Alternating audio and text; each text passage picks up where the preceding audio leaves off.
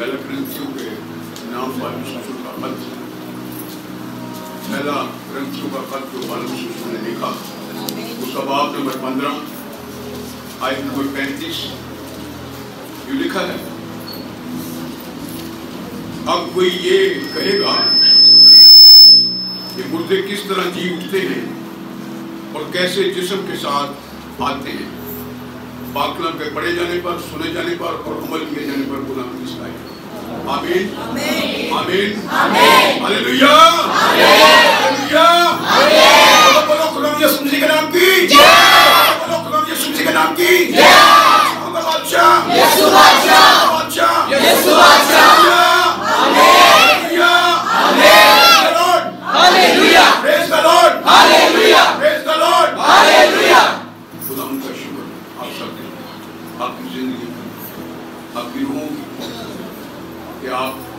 खुदावन में मशहूर हैं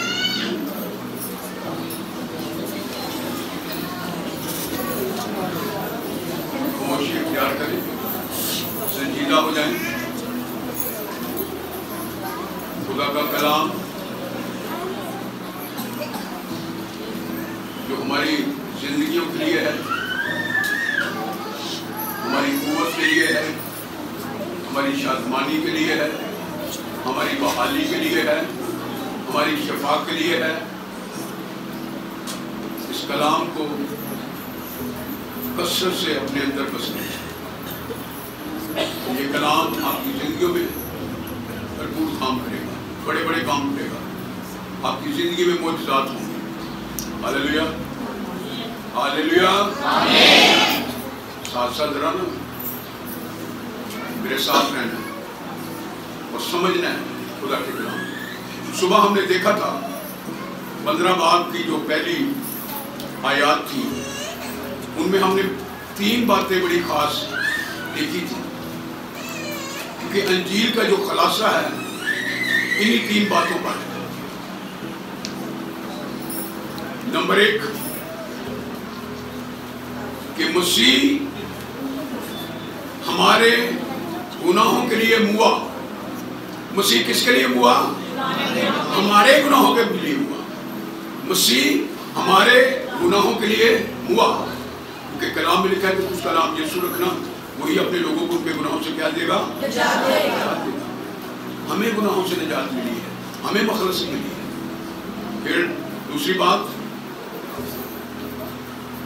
नंबर एक वो हुआ हमारे गुनाहों यानी वो हमारे गुनाहों के लिए मरा। फिर जब वो मर गया तो उसको दफन किया गया उसको कब्र में रखा गया। तीसरी बात कि वो तीसरे दिन किताबे मुकद्दस के मुताबिक हालेलुया। हालेलुया। दुनिया की कब्रों में दुनिया के माबूद पड़े हैं। दुनिया की कब्रों में इंसान पड़े हैं। दुनिया की कब्रों में औलिया हैं पैगंबर हैं और बड़े बड़े लोग हैं नामी ग्रामी लीडर हैं। वो सब उन कब्रों में दफन है। लेकिन यीशु की कब्र खाली है क्योंकि यीशु मसीह तीसरे दिन किताब मुकद्दस के मुताबिक जी उठा था। और अब वो ज़िंदा है और अब्दुलाबाद वो ज़िंदा रहेगा आसमान पर है मेरी और आपकी शिफायत करेगा आमीन। और अब वो बहुत जल्द हमें लेने के लिए आने वाला है अगर वो हमें लेने के लिए आने वाला है, हमने सुबह यीशु मसीह की क्यामत को सुना, पढ़ा, देखा, गौर किया कि यीशु की क्यामत कैसी है। अगर यीशु की क्यामत है तो हम जो इंसान हैं, हमारी भी क्यामत है कि नहीं है? अभी हम ये भी देखेंगे कि हमारी क्यामत कैसे है।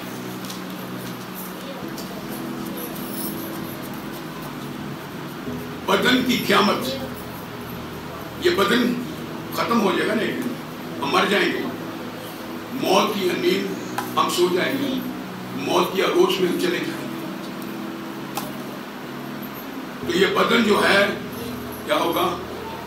जी उठेगा जब आपका मसीहा, मेरा मसीहा, दुनिया जहान का मुनजीम आएगा। लिखा है कलाम में कि उसकी आवाज़ सुनकर मुर्दे ठीक किसकी आवाज़ सुनकर?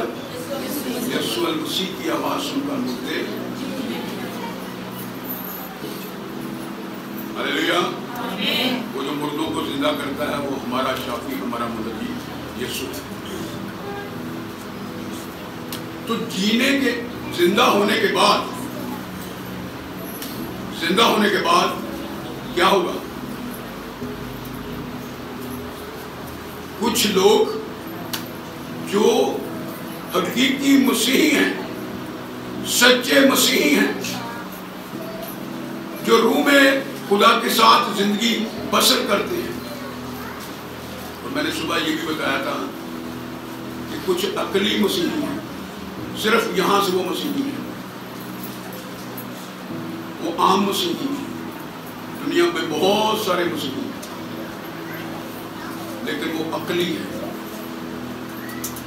लेकिन रूह बदन जान से जो मसीही है, वो हकीकी मसीही है। जो अकली मसीही हैं, जब अदालत होगी तो वो अबदी मौत के हवाला कर लिए जाएँगे। जहाँ कीड़ा नहीं मरता रोना है, दांतों का पीसना है। लेकिन जो हकीकी मसीही हैं, वो जैसे ही मरता है, इंतकाल करता है, शिफ्ट हो जाता है, ट्रांसफ़र हो जाता है अगली जहान में, अगली दुनिया में तो वो सीधा अपने खुदा की हजूरी में जाता है, कहीं और नहीं जाता हमने ज़िंदा मिसाल सुनी हुई ना एक अमीर शख्स था, वो इशरत में ज़िंदगी बसर करता था, और एक लाजर, गरीब, जख्मों से चूर नासूरों से भरा, उसके घर की चौकट पर बैठता था और वहाँ से जो खाना था, जो बच्चे टुकड़े थे, वो खाता दोनों की मौत हो गई। तो पहले जो लाजर था, वो मर गया। तो लाजर कहा था? बाप इब्राहिम की गोद। यानी बाप इब्राहिम की गोद फिर दोस्त को, जन्नत को, खुदा की हजूरी को पेश कर। लेकिन वो जो शख्स था, अमीर, जब उसकी मौत हुई तो वो कहाँ था? जहन्नम। वो बदन में जी उठे थे। यीशु कैसे जी उठा था? बदन में जी उठा था। वो रूह में नहीं था। वो बदन में जी उठा था। और मुर्दे जो हैं, वो बदन में जी उठेंगे। हम जब मर जाएँगे तो हम बदन में जी उठेंगे। क्योंकि मेरा और आपका मसीहा बदन में जी उठा है। और मुझे और आपको भी वो बदन में ज़िंदा आमीन। तो वो शख्स अजाब में था वो परेशानी के आलम में था। वो एक एक बूंद पानी को तरस रहा था। अजियत में था। वो कहाँ था, जहन्नम में था। जहाँ कीड़ा नहीं मरता, जहाँ पर लोग रोते हैं, दांतों का पीसना है। लेकिन लाजर बड़े सुकून से था। और खुदा के लोग जब खुदा की हजूरी में होंगे तो मैंने आपको बताया था ना, सलामती का मतलब क्या है? पीस है। अमन है। खुदा की हजूरी है। तो खुदा के लोग उस वक्त अमन में होंगे। उनके बदन आराम में होंगे। वो खुदा के आराम में दाखिल हो जाएँगे। किसके आराम में दाखिल हो जाएँगे? खुदा के आराम में दाखिल वो बदन में ही उठेंगे। अभी हम ये भी देखते हैं थोड़ा सा कि बदन की क्यामत क्यों ज़रूरी हमारे इस बदन की क्यामत क्यों ज़रूरी है? इसकी तीन वजूहत बाइबल मुकदस में ज़ाहिर होती हैं। नंबर एक, बदन मुकम्मल इंसानी शख्सियत का एक बुनियादी हिस्सा। है हमारा ये बदन हमारे शख्सियत का एक हिस्सा है। इंसान बदन के बगैर नाम बनता इंसान इस बदन के बगैर नामुकम्मल है।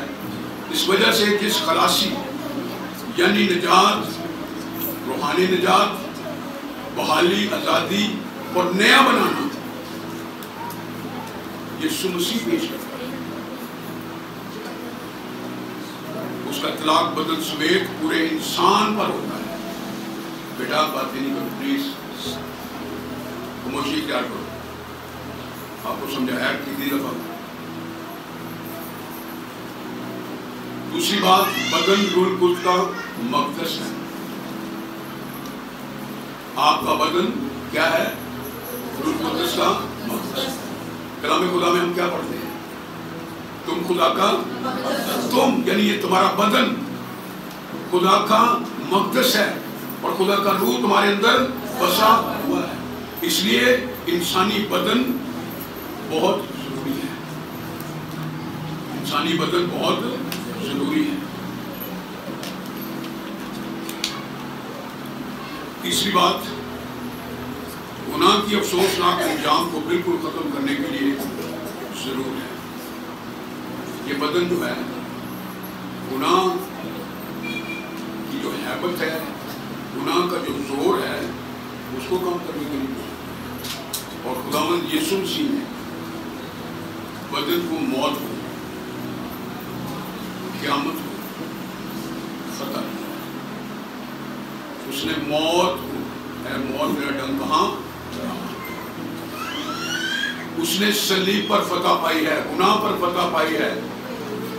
उसने मौत पर फतह पाई है, उसने कब्र पर फतह पाई है। तो ये तीन बातें जो हैं, ये जो आपको बताइए, ये भी ज़रूरी हैं। और फिर हम बदन की हालत में जो जी उठना है, अगर इसको पुराने अहदनामे में नए अहदनामे में देखें तो बहुत सारे हवाला जात हैं। अगर हम उनका मुआजना करें, क्योंकि अभी टाइम बहुत हो जाएगा, अगर मैं आपको ये सब बताऊँगा। क्योंकि ये जब हम बाइबल स्टडी करते हैं तो उस वक्त मैं बच्चों को बताता हूँ। स्टूडेंट्स को हम बताते हैं। बहुत सारे हवाला जात हैं, जो इस बात को पेश करते हैं, पुराने अन्नामे में भी और नए अन्नामे में भी, कि बदन की क्यामत है। और ये बदन हमारा एक हिस्सा है, इंसान का हिस्सा है। इसके बगैर इंसान नहीं है। नामुकम्मल है। बेटा अनुज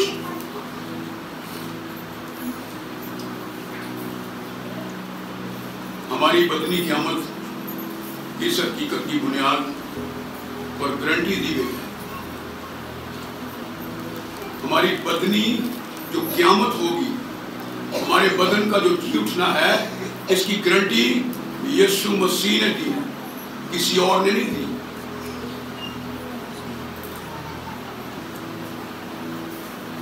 मुसीह मुद्दों में से जी उठा था अगर यीशु जी उठा है तो हम भी जी उठेंगे।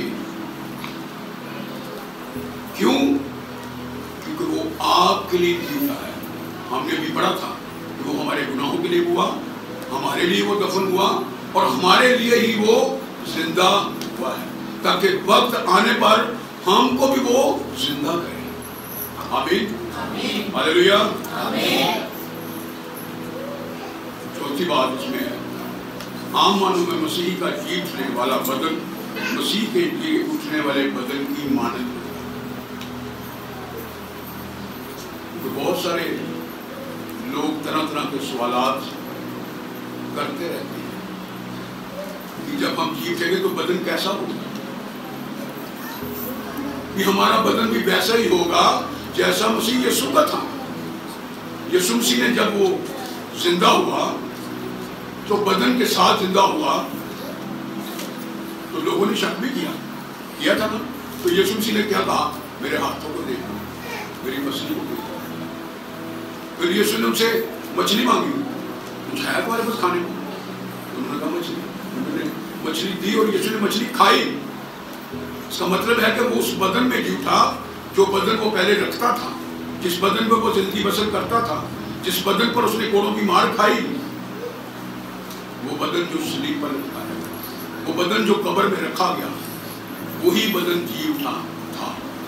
और ऐसे ही हमारे ये बदन जो इस दुनिया में हम ज़िंदगी बसर करते हैं जी उठेंगे। हालेलुया। हम इसी बदन में जी उठेंगे। रोमियो आठ बाब उनतीस है पहला ग्रंथियो पंद्रह बाब बीस है यानी बहुत सारे हवाला जात हैं। अब तो डिस्कस करें तो बहुत टाइम लगता है। इसलिए कोशिश कर रहा हूँ कि इसको बिल्कुल शॉर्ट कर ये आम मानों में के उठने वाला बदन की बात हुई। अभी हम खास मानों में जी उठने वाला बदन ऐसा बदन होगा जो शनाख्त के प्यार से ज़िंदगी में पाए जाने वाले बदन की खसूसियात के साथ। आम बदन और खास बदन में फ़र्क है। क्योंकि जो आम बदन है, ये जो हमारे बदन है, ये आम है। लेकिन जब ये मसीह में ज़िंदा किए जाएँगे, जब ये बदन मसीह में जी उठेंगे तो उस वक्त हम जलाली होंगे। हम जलाली बदन में होंगे। और कलाम मुकदस में लिखा है कि जो मसीह यस्सु में शामिल हैं, जिन्होंने यस्सु को पहन लिया है, जो मसीह यस्सु के हैं सब के सब जब यस्सु आएगा तो अपने बदनों के साथ हवा में यीशु का क्या करेंगे? जब वो कब्रों से निकलेंगे इस्तकबाल करने के लिए तो वो जलाली बदन में निकलेंगे। और जो उस वक्त ज़िंदा होंगे, वो मौत का मज़ा नहीं चखेंगे, बल्कि वो एकदम से जलाली बदन में उठाए हालेलुया। यीशु हमें जलाली बदन देता है। यीशु हमें अपना जलाल देता है। यीशु हमें अपने जलाल में शामिल करता है। इसलिए उसका जी उठना उसकी क्यामत हमारे लिए बाईस से बरकत है। उसकी क्यामत हमारे लिए क्या है? बाईस से बरकत है। जमीनी बदन से आसमानी बदन में तब्दील होने वाला जिसम नए आसमान और नई ज़मीन में ज़िंदगी इख्तियार करने वाला जलाली और मैं समझता हूँ कि ये बहुत बड़ा मुआवजा होगा। आज हम बेचैन रहते हैं मुआवजा पाने के लिए। आज हम परेशान होते हैं कि हमारी ज़िंदगी में क्यों मुआवजा नहीं और मैंने बड़ी दफ़ा समझाया है कि मुआवजा उसी वक्त होता है जब हम अपने आप को मुकम्मल सरेंडर कर देते हैं। ताबेदारी करते हैं। वफादारी निभाते हैं उसके साथ। तो क्या होता है? फिर खुदा अपने बड़े अजीब तौर से काम को अंजाम देता है। वो काम करता है जो हमारे लिए नामुमकिन होता है। मैं और आप अपने आप जलाली बदन को इख्तियार नहीं कर सकते। ये हमारे इख्तियार में नहीं है। लेकिन खुदा खुदा ये काम करेगा। मुझे और आपको मोजाना तौर पर तब्दील एक मोजा वो हमारी ज़िंदगी में पहले हुआ कि जब हमने गुनाहों से निजात पाई। हमने अपने गुनाहों से तोबा की। हमारे गुनाह माफ़ हुए और हमने मसीह की पैरवी हमने उसकी ताबेदारी और जब हम दुनिया में रहते हुए मुकम्मल तौर पर उसकी ताबेदारी करेंगे, उसके साथ वफादार रहेंगे, इसीलिए कलाम खुदा में लिखा है कि अपनी स्लीप उठाओ। क्या करो? मेरे पीछे। जब तक मैं और आप सलीब नहीं उठाएँगे खुदी का इनकार नहीं करेंगे, मसीह के पीछे नहीं चलेंगे, हमें जलाली बदन नहीं मिलेगा। जब तक हम उसके लिए फल नहीं लाएँगे, हम उसके शागिर्द नहीं की पंद्रह बाबर लिखा मेरे बाप सिखाने का बहुत सा अगर फल लाएँगे तो खुदा का जलाल हाल खुदा अजीब तौर से काम करेगा हमें उसके साथ अगर जी उठना है, अगर हमने जलाली बदन को हासिल करना है तो दुनिया में रहते हुए हमें उसका जलालदार करना होगा। अपने करदार से, अपनी गुफ्तगु से, अपने कामों से। और मैं अक्सर यही कहता रहता हूँ कि मसीही ज़िंदगी प्रैक्टिकल लाइफ अमली ज़िंदगी है। मुकाशवा की किताब में लिखा है ना, इस कलाम को पढ़ने वाला, सुनने वाला और सबसे बढ़कर मुबारक कौन है? कलाम को महज सुनने वाले ना बनो, बल्कि उस पर अमल करने वाले अगर मेरी ज़िंदगी में अमल नहीं होगा तो मैं कैसे कह सकता हूँ कि मैं खुदा की हजूरी में एक शख्स कहे कि जी, मैं आसमानी बादशाही में जाऊँगा। सुबह उठ के मैं चर्च नहीं जाता, सुबह उठ के मैं दुआ नहीं करता, कलाम नहीं पढ़ता, अपने बच्चों को तरबियत नहीं देता। तो कैसे खुदा उसकी हजूरी में जा सकता है? जा सकता है? हरगिज नहीं जा सकता। जो पहले ही खुदा के साथ वफादार नहीं तो वो कैसे आसमान की बादशाही में जाएगा? फिर हम कहते हैं कि खुदा मोहब्बत है। और हम मोहब्बत करते नहीं। तो जिसके पास जाना है, वो तो मोहब्बत है। और हमें भी ज़मीन पर रहते हुए मोहब्बत करनी सुने, दो ही हुक्म तुम खुदा अपने खुदा की पूरे दिल पूरी जान पूरी अकल से क्या करना, इबादत करना, मोहब्बत और तुम भी एक दूसरे से क्या करो, इससे हम उसके शागिर्द ठहरते हैं। क्योंकि उसने मोहब्बत किया है तो हमें भी एक दूसरे से मोहब्बत करना है। अगर हम ये चाहते हैं, खुदा की हजूरी में जाना तो खुदा क्या है? अगर उसके जलाल में जाना चाहते हैं, अगर हम उसकी हजूरी में जाना चाहते हैं तो खुदा तो पाक है। खुदा क्या है? खुदा क्या है? अगर खुदा पाक है तो जाने वाले अगर नापाक हो तो खुदा हजूरी में जा सकते हैं। पहले हमें पाक होना पड़ेगा। खुदा की आँखें इतनी पाक हैं कि वो बल्कि को देख नहीं सकते। खुदा गयूर है, खुदा पाक है। ज़रूरी है कि हम पाकिजगी के साथ इस दुनिया में अपनी ज़िंदगी को क्या करें? बसर कलाम खुदा में लिखा है कि मुबारक है वो जो पाक दिल है। मुबारक है वो जो पाक वही क्या होंगे खुदा को? वही खुदा को देखेंगे। किसी दूसरे का लिखा है? लिखा है किसी दूसरे बंदे का? कि हर कोई देखेगा। हर कोई हरगिज नहीं देखेगा। और भाइयों, बच्चों, सुन लो। हर कोई खुदा को नहीं देखेगा। सिर्फ़ वही देखेगा जिसका दिल पाक अगर दिल पाक है तो इसका मतलब है कि वो मुकम्मल तौर पर पाक है। क्योंकि दिल जो है लाइलाज और हीलेबाज है। ये ज़िंदगी का सरचश्मा है। और इसीलिए यीशु ने कहा, देख, मैं तेरे दिल के दरवाज़ा पर खड़ा खटखटाता हूँ।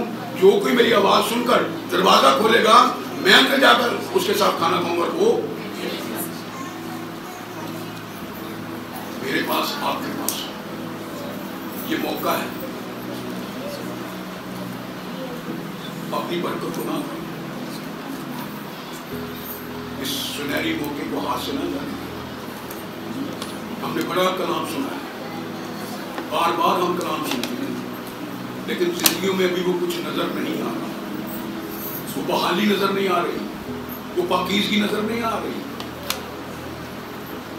हम मोहब्बत के बगैर, पाकिजगी के बगैर, अमाल के बगैर खुदा की हजूरी में नहीं जा सकते। हमारे अमाल दुनिया में अच्छे होने चाहिए। और कलाम लिखा कि तुम नेक अमाल के लिए बुलाए गए हो। किसके लिए बुलाए गए हो? नेक अमाल के लिए। गुनाह करने के लिए, बाद अमाल के लिए नहीं बुलाए गए। और आपको कलीसिया कहा गया है। और ऐसी कलीसिया जो पाक है, जो बुलाए हुए हैं, जो अलग किए हुए हैं जो मुकदस हैं, जो चुने हुए हैं, अगर आप ये सब हैं तो फिर हम क्यों खुदा के कलाम के मुताबिक अपनी ज़िंदगी बसर नहीं कर रहे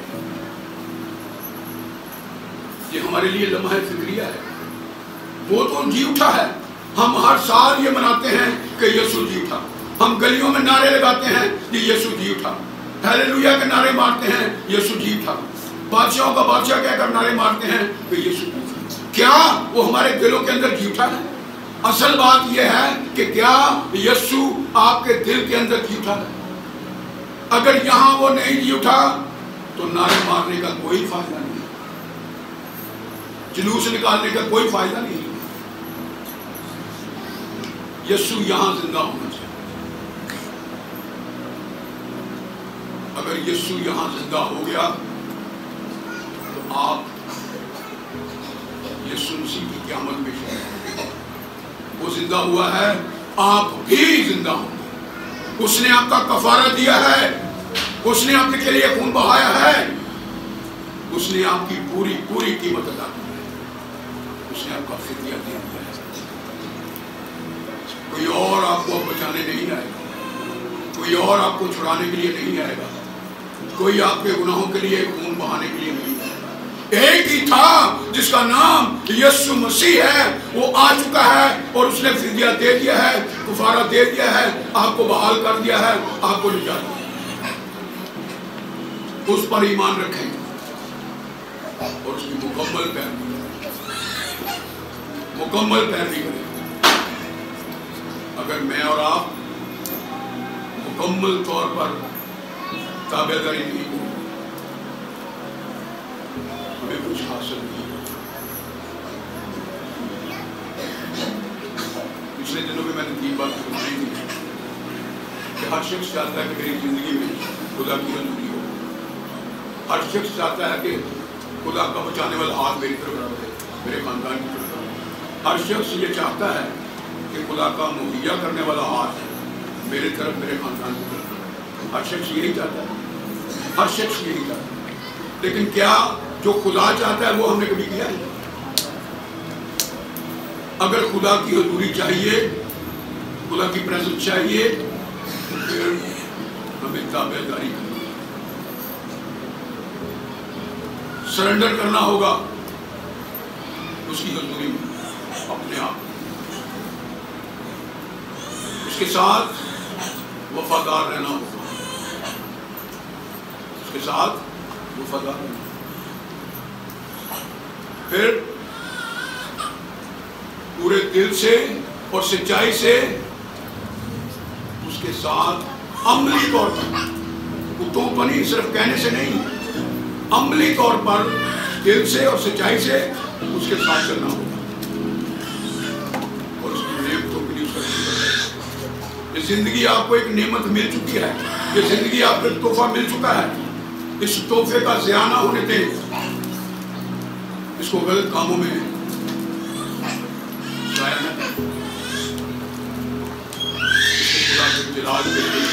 इसको खुदा के ये मर्ज़ी है वो आपसे मोहब्बत करता है। क्योंकि खुदा ने दुनिया से ऐसी मोहब्बत रखी उसने अपना एक लौता बेटा बख्श दिया।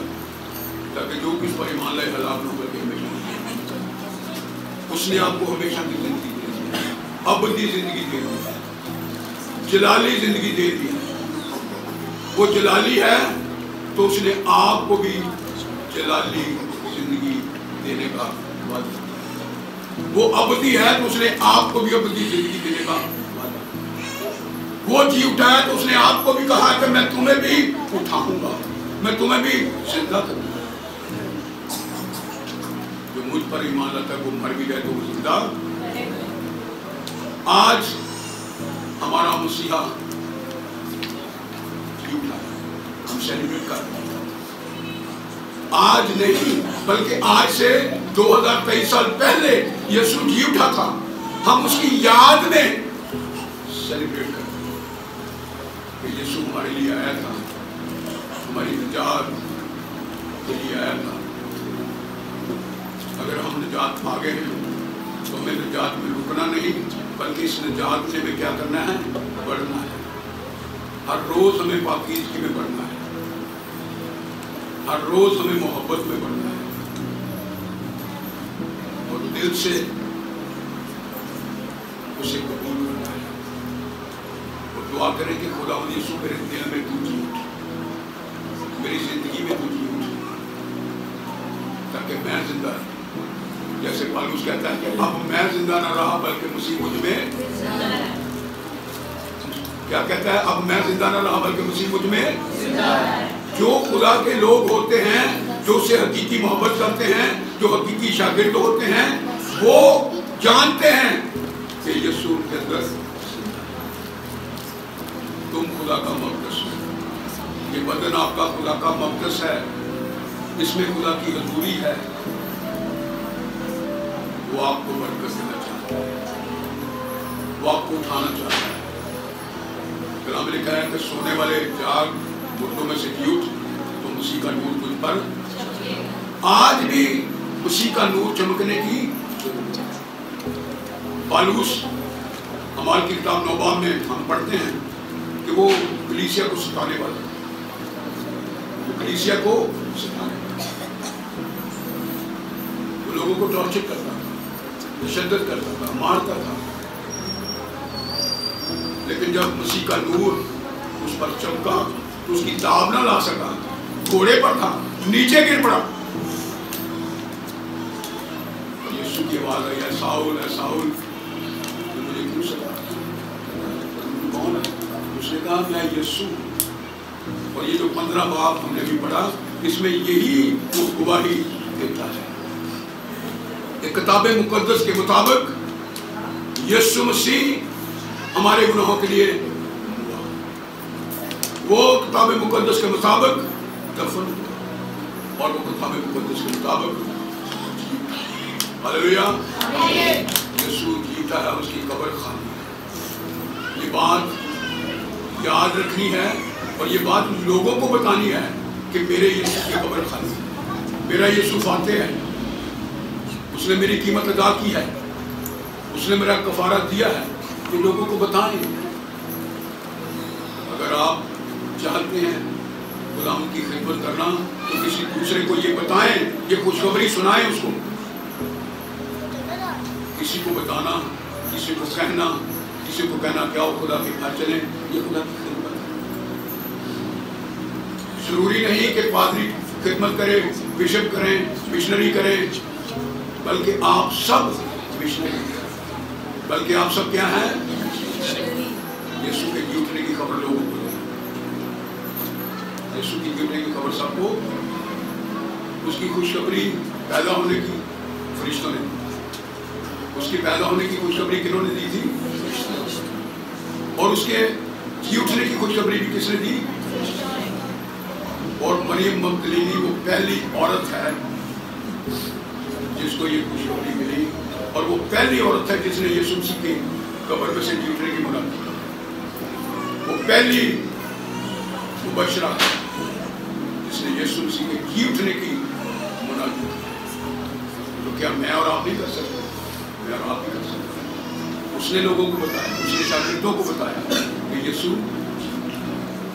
अब वो कब्र में नहीं आपका यीशु अब कब्र में आपका यीशु अब कब्र में नहीं है वो कहाँ पे है? आसमान पर किस लिए है? हमारी सफ़ाई वो बदन में जी उठा तो आप क्या बदन में जी उठेंगे कि नहीं? आप बदन में जी उठेंगे कि नहीं? वो जलाली बदन में जी उठा है, आप जलाली बदन में जी उठेंगे कि नहीं? हम भी जी उठेंगे। आए, खुदा यीशु के नाम में दो